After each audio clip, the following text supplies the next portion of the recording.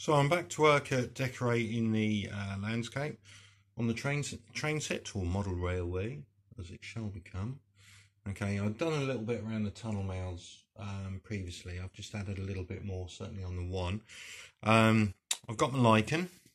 I've got my massive amount of ground foam, homemade.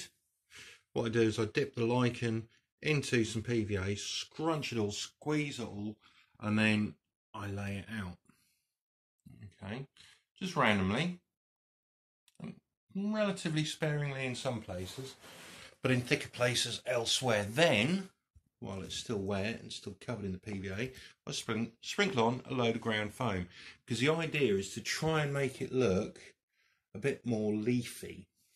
Unlike the old days in the 70s and 80s when I was a kid, where you might luckily have about, hmm, well, about that much lichen for your entire play box, you know, for everything toy soldiers, train sets, and so on.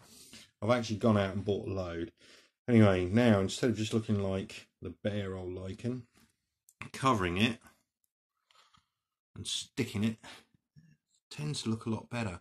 And once I shake off the excess and the loose stuff, it'll look even better. So I'm just doing a little bit by a little bit at the moment. So I'm just going to start covering these. It's dead easy. You literally just take a pinch and just scatter it.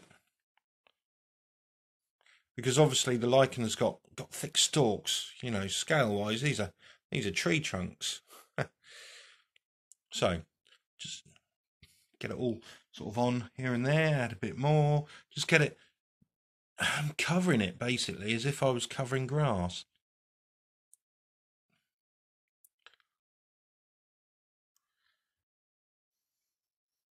And I'll give it a little pat down to make it bed in and sit in once I've, got plenty on.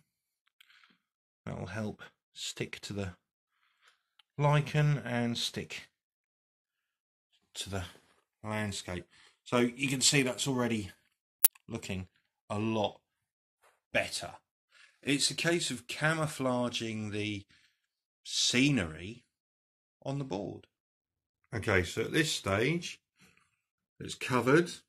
It's been squished down a little bit so the glue will hold. Still looks a little bit patchy as you can see so I haven't got the same coloured ground foam everywhere. But that's fine because ultimately there will be a sprinkling everywhere okay, to blend all the colours in fairly well. Now here's some that I did previously around the, the tunnel mouth. As you can see, it looks a lot more natural because there's currently loads and loads of foam here. Now, what I want to do here, along the edge of this siding, is put a lot more sort of low level shrubbery. Great word, Monty Python word. Now, when I made my ground foam, I ended up, before I sieved it, with loads of stuff that's just too big to be convincing. So what I'm going to do is PVA this and lay this along and then put my smaller ground foam on it. So it's using it up somewhat more usefully and realistically than otherwise because otherwise to be fair I'd probably just bin it because it doesn't look any good as is. So I've popped that on and pressed it down lightly and it's made a nice little bumpy bit but obviously doesn't show until you start blowing it off that's looking good now I've put some more lichen here that's all ready to pop the ground foam on, and unbelievably, I've run out of lichen. I got loads of it, used loads of it. Um, I thought I had way more, so I'm going to have to get a load to do that that top bit, unless I decide to put something else up there.